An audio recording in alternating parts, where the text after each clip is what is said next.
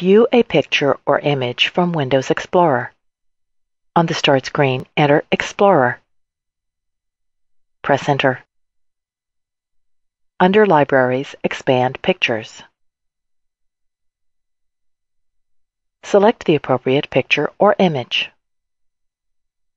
To change the size of the icon, select the View tab.